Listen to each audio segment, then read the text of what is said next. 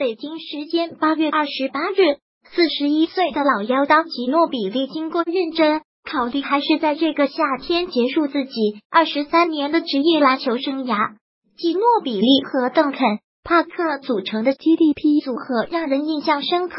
为马刺队带来了四座总冠军。吉诺比利风骚的传球，让人叹为观止的蛇形突破，关键时刻手起刀落的投篮。成为了一代人的青春回忆。老妖刀吉诺比利宣布退役。马努吉诺比利在 NBA 马刺队效力十六年，出场一千零五十七场常规赛，首罚三百五十次，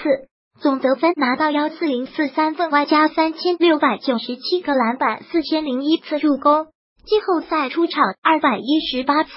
拿到三千零五十四分，八百七十四个篮板，八百二十七次助攻。两次入选全明星阵容，拿到一次最佳第六人奖项。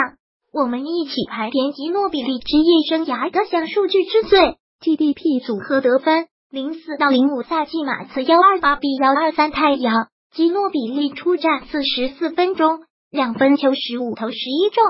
三分球七投五中，十二罚十一中，拿到四十八分五篮板六助攻，篮板。零七到零八赛季，马刺九十三比八十八猛龙，吉诺比利出战三十九分钟，两分球十投七中，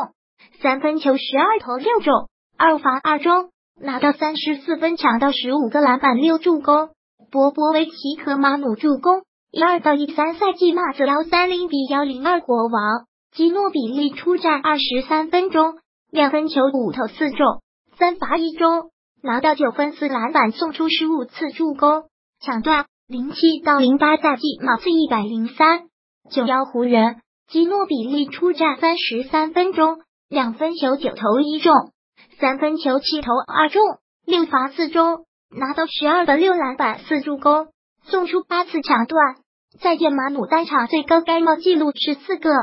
单场命中三分球纪录是八个，单场命中罚球十八个。最后再一次感谢吉诺比利给球迷带来的感动。再见，马努。再见，GDP 组合。